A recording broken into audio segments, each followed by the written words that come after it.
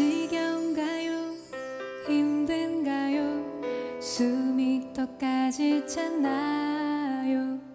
할 수 없죠 어차피 시작해버린 것을 쏟아지는 햇살 속에 입이 바싹 말라와도 할 수 없죠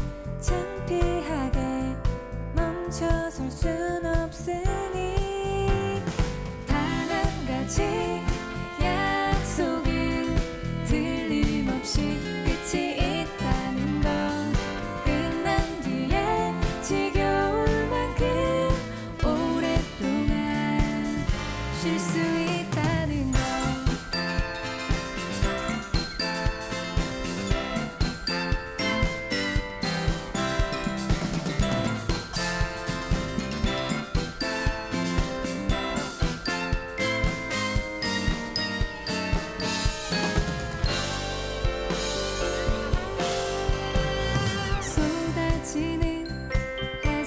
속에 입이 바싹 말라와도 할 수 없죠.